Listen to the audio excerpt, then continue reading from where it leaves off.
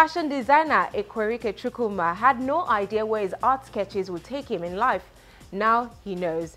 On today's Spotlight, the medical student turned fashionista hints at an international collaboration that is already in the works. Nigerian fashion artist Ekwerike Chukwuma's journey into the world of beauty began with abstract drawings he had no idea what to do with until he found the right match for his sketches fabric. The one time student of medicine at the University of Port Harcourt, who later switched to environmental biology, graduated in 2016. Years before that, he already decided which passion to pursue fashion. Despite the lack of formal education in fashion and skepticism on the part of his relatives, Chukwuma, his brand, Wuman, entered for the MultiChoice fashion protege contest in 2013, where he emerged one of the semi-finalists. I actually did it while I was sick, so I was surprised that, okay, the few sketches I could do could take me that far. So I was like, wow, this thing actually means something. So it was more like not just the drawing now. I tried to produce something for the first time. And so when I got on the show, I was motivated because, okay, finally I saw that, okay, it wasn't just me that was as weird as I thought. I saw some people like me and everybody was like, hey, this is what I do and all the rest. So after the show, I wasn't picked for the finals. I just made it to the semifinals. I sat back and asked myself a few questions. I was in medical school at the time. I was like, okay, is this, is this really what I'm supposed to do? I was confused a bit. But what I knew at the time was I knew for sure I wasn't going to be a doctor.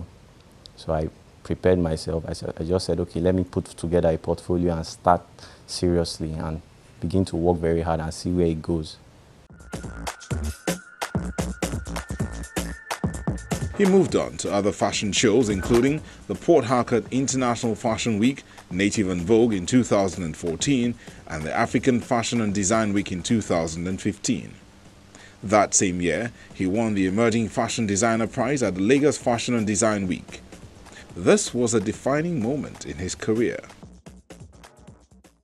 The thing is, a lot of people actually differentiate fashion from art. But I see bo both of them as the same. Actually, okay, maybe art is the mother of fashion, but they are not too distant from themselves. So what I did was I was like a bridge between the two of them. And I actually saw a lot of things that you could bring from art directly into fashion, which a lot of people felt, I don't know if I was so sure, but I felt a lot of people were like, this thing isn't possible. You shouldn't do this. It's, it's not going to work. Nobody's going to wear this. His work over the past few years may not have gotten enough attention in the highly competitive fashion industry in Nigeria, but thanks to social media, a global fashion brand has taken keen interest in his talent. The collaboration, which is still on the wraps, is expected to be a major boost for the Wuman. The title of that work is Maggie.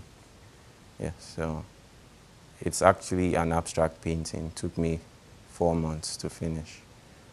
Um, Maggie is actually about a woman and various, um, her journey through various processes, time and circumstances.